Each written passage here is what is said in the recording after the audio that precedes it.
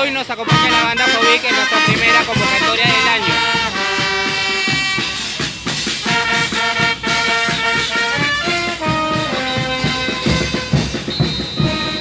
Estas son algunas de las chicas que asistieron a la primera convocatoria y, y